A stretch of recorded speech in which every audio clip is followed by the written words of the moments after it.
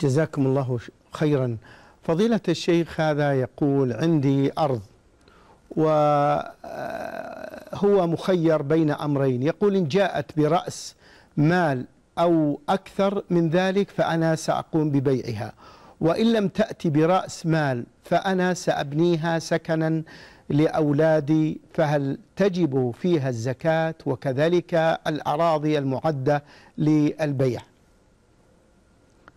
أما الأراضي المعدة للبيع فتجب فيها الزكاة كل ما حال عليها الحول من بدءا من نيته لبيعها فيزكيها يثمنها ويزكيها.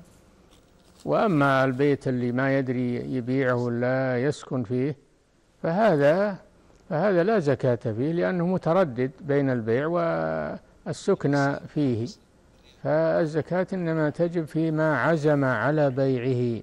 فيما عزم على بيعه من البيوت أو الأراضي أو سائر عروض التجارة. نعم.